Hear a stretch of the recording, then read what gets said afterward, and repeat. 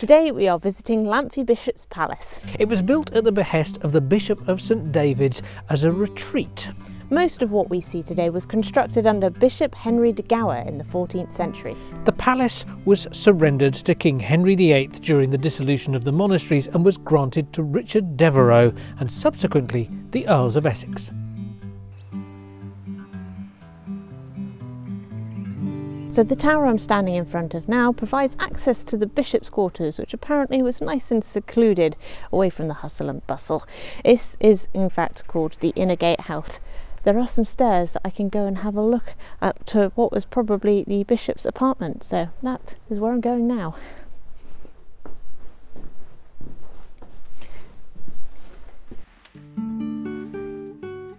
The stairs are quite narrow and uh, uneven, but there are ropes to help you up. Kind of looks more like a pigeon loft than a, than a bishop's room.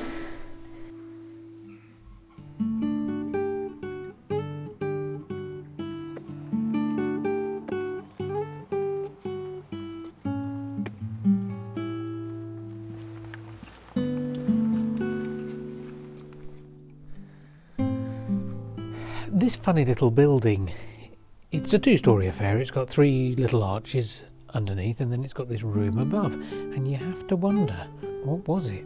According to the maps, it's additional accommodation, but if this is just additional accommodation, how lavish must it have once been? The main building is over there, and I should imagine that it was lavish. They had money to burn, clearly, because if you're just going to build a bit of additional accommodation and make it this nice, I mean, admittedly, you know, it's mm. it's no longer got plaster on the walls, and of course the roof is gone, but downstairs is still intact. They spent a lot of money when they built it because they did it properly, because it's still standing.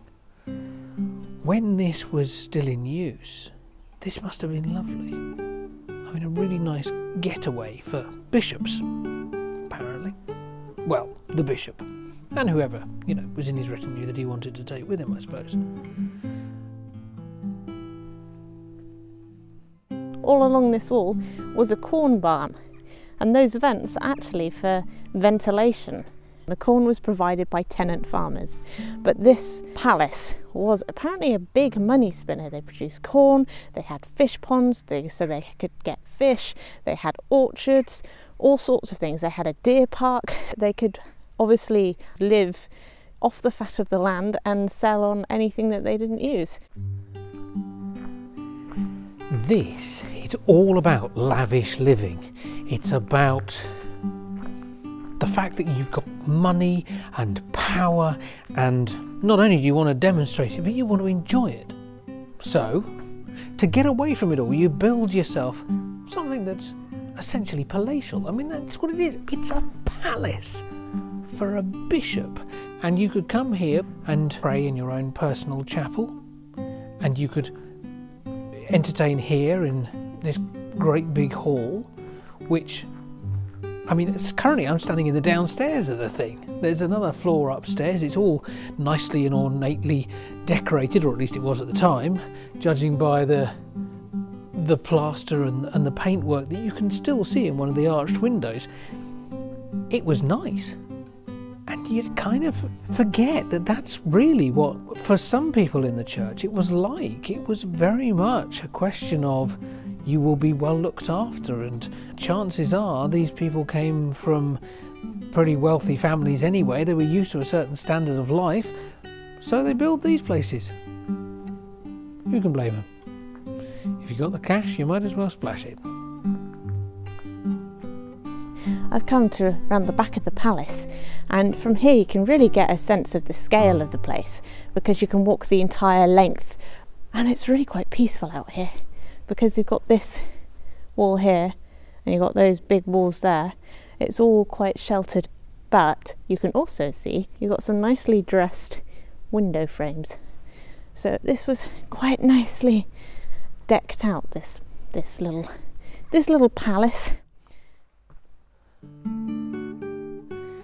This rather ornate window behind me is what's left of the chapel. Most of the walls of it are gone, all that remains is that bit there and the masonry around the posh window. It's all very well built, but obviously for some reason that bit didn't survive as well as some of the other bits. Funny how. That door there looks kind of small and unassuming, and I assumed it was just going to be a small, dingy room. However, that is not what you see at all. What you see is this a really quite long room with a vaulted ceiling.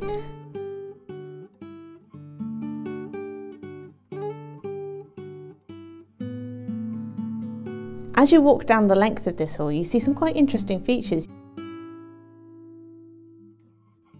You've got the remains of uh, probably quite ornate arches going across the ceilings, but they've all gone. But you can still see the foundations of where they were. But I'm really impressed with this building. I don't know if you can tell. It's made me happy. I don't know why. I do love a good vaulted ceiling, and this is a very good vaulted ceiling. So this interesting little piece of graffiti here, I initially overlooked because I wasn't entirely sure who had written it, but it was apparently written by soldiers in World War II. Now this massive hall, I assumed was a dining hall because you could quite comfortably sit an awful lot of people in here, but it is in fact an undercroft or a wine cellar. So they must have had an awful lot of wine down here to need a place this big to store it in. Now I've wandered up a really rather narrow spiral stone staircase to come here. And this funny little room was at one point the guardrobe. That's the bathroom to you and I, the uh, WC, the water closet.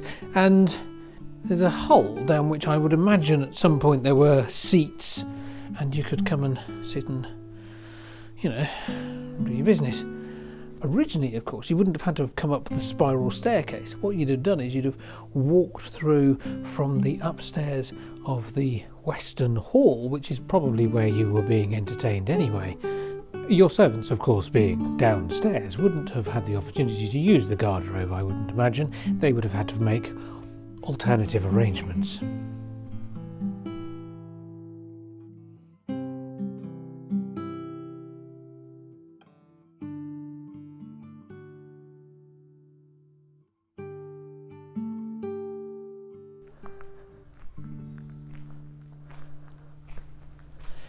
This is lavish living. This is an enormous hall for entertaining. And talking of entertaining, if you weren't entertained down here with the lovely food and the, the roaring fires and the, the fun and the entertainment going on, then you could, should you so desire, go upstairs, out beyond the roof, and there was a walkway that went round the parapet. And these fabulous arches that you see above are all part and parcel of a drainage system that would allow them to collect rainwater, but you could also walk along the top of it and have a fantastic look at the view. Off this great hall was a little antechamber, another guardrobe. In fact, it had every lavish thing that you could possibly want. This was a really nice building. And it really was made for sort of kicking back, relaxing, and enjoying the, the fruits of probably somebody else's labour, let's be honest. So, what did you think? I am impressed by the scale of this place. I Yeah. kind of, I mean, I'd seen photographs and I'd done a bit of research, but I didn't expect it to be as big as it is. I mean, it's not, it's not Tintern Abbey and Neath Abbey kind of big, I but it's big. Yeah, yeah. And there's a lot of it that's left, and there's little interesting details, and you can see this place. And I know this is a, sort of the wrong way to view this, but when it was built, this place must have cost a small fortune. As a retreat, it, I mean, you know, we get holiday cottages now, don't we? And we're happy with that. Imagine having a Yeah. palace that you could go and retreat to. That's quite something. I mean, I just wonder how stressful was the job that you needed a palace to retreat to. I mean, it just seems a bit. Much. Yeah, but it does go to show you just how wealthy the Or the, the, the church was, and, had- and the people who were in the church sort of independently of the church. Now, either they had money already and it sort of came through the family because chances are the bishop was probably, yeah. you know, some landed gentry family. That's kind of possibly it. And this is just the place that he knocked up for himself, or alternatively, the money came from the church. Who knows? I don't. I don't know. If you know, I would be I would be intrigued to know. Please, in the comments down below, let us know Who paid for this place?